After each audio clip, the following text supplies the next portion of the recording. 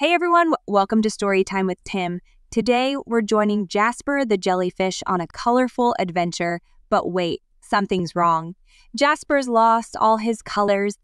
Jasper the jellyfish loved his vibrant colors. He shimmered with shades of blue green and purple like a living rainbow in the deep blue sea.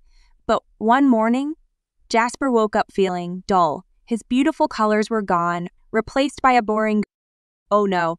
Jasper wobbled sadly. He tried everything to get his colors back. He did somersaults through schools of fish, hoping the movement would spark some vibrancy. He swam past shimmering coral reefs, hoping their beauty would rub off on him. But nothing worked. Jasper remained a plain, gray blob.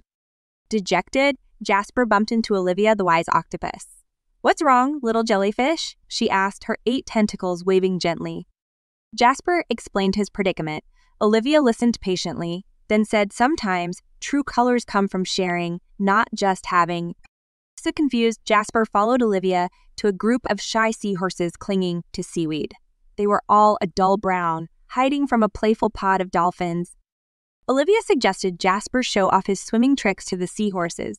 Jasper, though nervous about being gray, swam his best, doing flips and twirls. The seahorses, mesmerized, cheered, and laughed their brown bodies starting to shimmer with streaks of yellow and orange.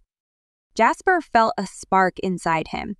As the seahorses gained confidence, their colors continued to brighten, spreading to the surrounding seaweed and even the dolphins who joined in the fun.